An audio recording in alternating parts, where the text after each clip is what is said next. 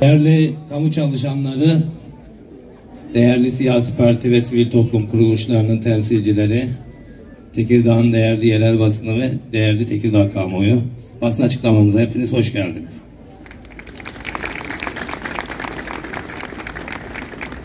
Basın açıklamamıza başlamadan önce e, kimler bu açıklamayı düzenliyor? Sarayın verdiği yüzdelik zamlara kimler itiraz ediyor?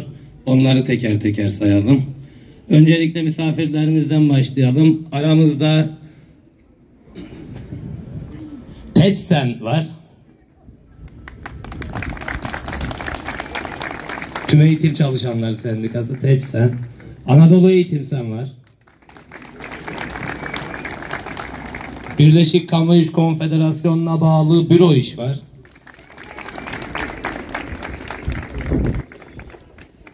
Ee, tüm Öğretmenler Sendikası'ndan temsilcimiz var.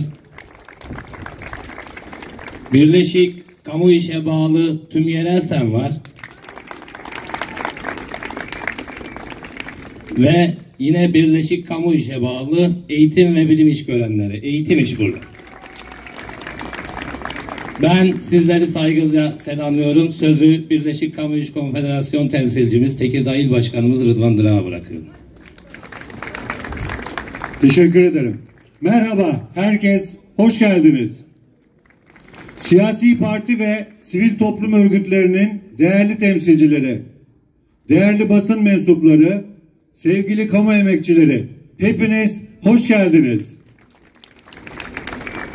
AKP iktidarının bizlere layık gördüğü bu sefalet ücretini protesto etmek için bugün yine alanlardayız.